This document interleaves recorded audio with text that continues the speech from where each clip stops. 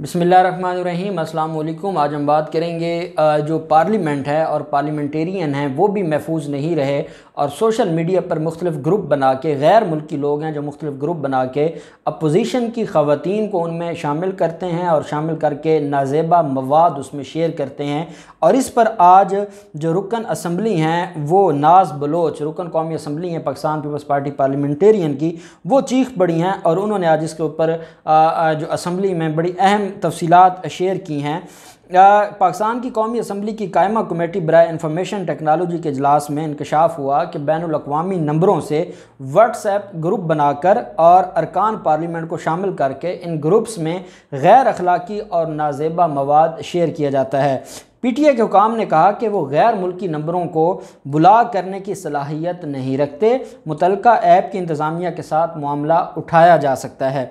Committee इजलास के दौरान ये आज कमेटी का इजलास हुआ, इंफॉर्मेशन एंड टेक्नोलॉजी कमेटी का कौमी असम्बली का, और उसमें नाज बलोच ने यह बताया पाकिस्तान पीपल्स पार्टी पार्लियामेंटेरियन की जो खातून हैं, उन्होंने कहा कि नाम मालूम गैर मुल्की नंबरों के व्हाट्सअप ग्रुप हैं, जो ख़वान अरकान पार्लियामेंट को शामिल करके इसमें गैर अखलाकी मवाद उसमें भेजा गया।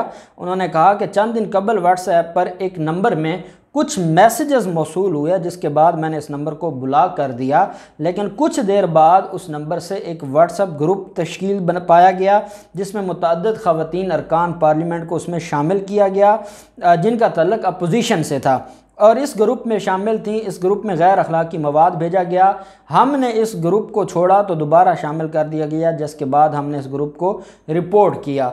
नाज बलोच की शिकायत कमेटी ने जब पीटीए से जवाब मांगा तो उन्होंने कहा कि पीटीए पाकिस्तान टेली कॉम कंपनियों के जारी करदा नंबर्स को तो ब्लॉक कर सकता है लेकिन गैर मुल्की नंबर को ब्लॉक करना पीटीए के इख्तियार में नहीं है।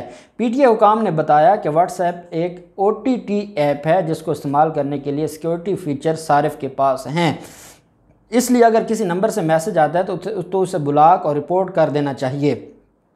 रिपोर्ट करने से ऐसी तमाम ऐप्स मुतल नंबर के ख़िलाफ़ ख़ुद बेहतर एक्शन लेती हैं। पी टी हुकाम ने बताया कि वो व्हाट्सएप की लोकेशन मालूम नहीं कर सकते और साथ उन्होंने पी टी हुकाम ने कहा कि हम मोबाइल फ़ोन की लोकेशन मालूम कर सकते हैं लेकिन व्हाट्सएप की लोकेशन हम मालूम नहीं कर सकते। आ, अगर कोई पाकिस्तानी नंबर लेकर व्हाट्सएप पर अकाउंट बनाया और सिम तोड़ दे और बाहर मुल्क से जाकर इस व्हाट्सएप को इस्तेमाल करे तो हम इसे ट्रेस ट्रेस नहीं कर सकते। हम प्लेटफॉर्म को रबता करके कह सकते हैं कि इस मामले को देखें, लेकिन सोशल मीडिया प्लेटफॉर्म रेगुलेटर से कहीं ज़्यादा सार्फिन के मसाइल पर उन्हें जवाब देते हैं। हम में, हम भी इस केस की सोशल मीडिया प्लेटफॉर्म को शिकायत करेंगे, लेकिन वो हमसे ज़्यादा जल्दी सार्फिन की शिकायत को देखेंगे। इस मामले पर जो नाज बलोच है, उन्होंने कहा कि ये नया ट्रेंड चला है कि बैन अवी नंबर्स से व्हाट्सएप मैसेजेस करके तंग किया जाता है। गलत मैसेजेस किए जाते हैं और तंग किया जाता है। परेशानी इस बात की है कि जब अरकान पार्लियामेंट ख़ुद को महफूज तस्वुर नहीं करते तो आम आदमी का क्या हाल होगा? पूरे पाकिस्तान में साइबर क्राइम बढ़ रहा है। ख़वान को हरासा किया जा रहा है, लेकिन एफ़ आई ए और हमारे इदारे क्या कह रहे हैं? एक सवाल के जवाब में उन्होंने बताया कि वेडिंग के नाम से बनाए गए व्हाट्सएप ग्रुप में मालूम नहीं बाकी नंबर किन के थे, लेकिन जो नाम सामने आए, वो अपोजिशन की ख़वातीन अरकान, कौमी असम्बली और सैनेटर्स के थे, जिन्होंने ग्रुप छोड़ दिया। मैं किसी पर इल्ज़ाम नहीं लगाती कि ऐसा किस किस ने किया, लेकिन हम चाहते हैं कि उसका पता चलाया जाए व्हाट्सएप को लिखा जाए और मुस्तकिल हल तलाश किया जाए। ये जो मामला है, अब ये मामला आज क्योंकि इतनी अहम कमेटी थी और उसमें इतना अहम मामला उठाया गया और पाकिस्तान टेलीकम्युनिकेशन अथॉरिटी के हेड भी वहाँ पर मौजूद थे, जो बारहा ये कह रहे थे कि व्हाट्सएप को हम भी ये मामला उठाएँगे, लेकिन सारिफ भी उसके पास है कि वो या ब्लॉक करे या उसके रिपोर्ट कर दे तो सार्फिन के कहने पर व्हाट्सअप ज़्यादा असर करता है।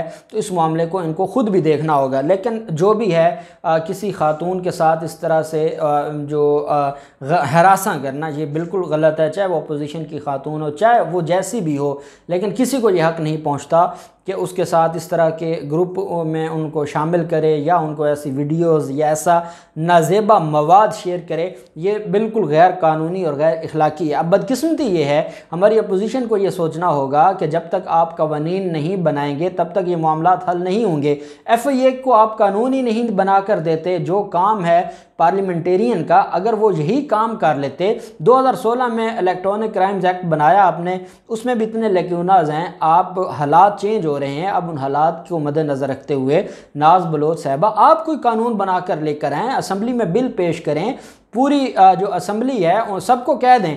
अब प्रॉब्लम यह है कि जब कोई बिल आता है, अभी जैसे सोशल मीडिया के हवाले से या मीडिया की की को रेगुलेटरी अथॉरिटी के हवाले से जो बिल हुकूमत पाकिस्तान लेकर आ रही है, वो इस, वो सारे इन मसाइल को हल करने के लिए है कि जब तक कोई रेगुलेटरी अथॉरिटी नहीं होगी, वो मामला को नहीं देखेगी वो बाहर की दुनिया से रबते नहीं रखेगी। हमारे पास तो कोई ऐसी मैकेनिज़्म ही नहीं है, कोई ऐसी अथॉरिटी नहीं है। पीटीए तो सिर्फ़ विद इन पाकिस्तान मामला को देख सकता है, लेकिन जब तक हुकूमती सतह पर कोई ऐसी रेगुलेटरी अथॉरिटी नहीं बनाई जाती तो ये मामला हल नहीं होंगे।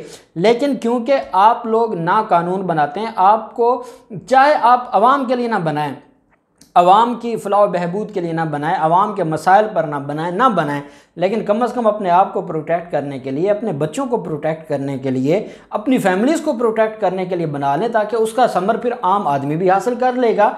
ये इन कवानीन के ऊपर तो काम करें, दुनिया कहाँ चली गई है और आज तक पाकिस्तान के अंदर ये मसाइल हैं और पाकिस्तान के इदारे अपने आप को बेबस समझते हैं। उसकी वजह यह है लॉ मेकिंग नहीं हुई, कोई लेजिस्लेशन नहीं हुई। आपने सिवाय अठारहवीं तरमीम के किया क्या है? आपने सिवाय दो जमातों के मुख मुका के अलावा आपने किया क्या है? एक दूसरे को आपने मज़बूत किया है और एक दूसरे को मज़बूत करके आपने ये समझा है कि इस सारे मामले पर और इस सारे चीज़ों को देखते हुए आप ये समझते हैं कि आपने अपनी ज़िम्मेदारी पूरी कर ली है या आपने अपने मामला जो हैं वो जो आपकी लाइबिलिटीज़ थी, बतौर मेंबर नेशनल असम्बली आपने पूरी की है, ये बात हरगिज़ नहीं है। आपने अपनी ज़िम्मेदारियाँ पूरी नहीं की और उसकी वजह से ये हालात, और ये बात वाकई ठीक है कि जब एक मेंबर नेशनल असम्बली की मेंबर महफूज नहीं है तो बाकी कैसे महफूज रह सकते हैं? उसके लिए जो आपकी ज़िम्मेदारी है, पहले आप कानून बनाएँ, फिर उसके बाद अगली ज़िम्मेदारी दो इदारों की शुरू होती है। पहली ज़िम्मेदारी पार्लियामेंट की है। पार्लियामेंट सुप्रीम इदारा है। पार्लियामेंट कानून बनाएगी। तो फिर एग्जीक्यूशन के लिए वो मामला हुकूमत के पास जाएगा। हुकूमत उसको एग्जीक्यूट करेगी। अगर वो कानून ठीक नहीं होगा तो उसको इंटरप्रेट जुडिशरी करेगी, उसकी तशरी जुडिशरी करेगी। लेकिन पहला काम, पहली ज़िम्मेदारी कानून साज इदारे की है। पहली ज़िम्मेदारी पार्लियामेंट की है। तो मैं ये समझता हूँ कि हमारी हुकूमत को भी इस मामले को देखना होगा। व्हाट्सएप के साथ बड़े लेवल पर इन मामला को उठाना होगा। और जो गैर मुल्की नंबर हैं वो उसका जो मामला है वो उठाना होगा। ताकि इस तरह के जो मसाइल वो पैदा ना हो सकें। और ये एक बीमारी है, ये बढ़ती जाएगी तो ये कईयों के साथ मसाइल पैदा होंगे, कईयों के जो के लिए ये परेशानी का बायस बनेगी। अब देखते हैं कि आज की ये जो कमेटी है, उसमें ये बात कही गई है, जो कौमी असम्बली की कायमा कमेटी बर इंफॉर्मेशन टेक्नोलॉजी है कि इस मामले का तदारक किया जाएगा और इसके ऊपर काम किया जाएगा। अब देखते हैं कि क्या काम होता है, क्या सदबाब होता है। जो भी तफसीत होंगी आपके साथ शेयर करते रहेंगे। अल्लाह पाक पाकिस्तान का हामी नासर हो। बहुत शुक्रिया। अल्लाह हाफिज़ पाकिस्तान जिंदाबाद।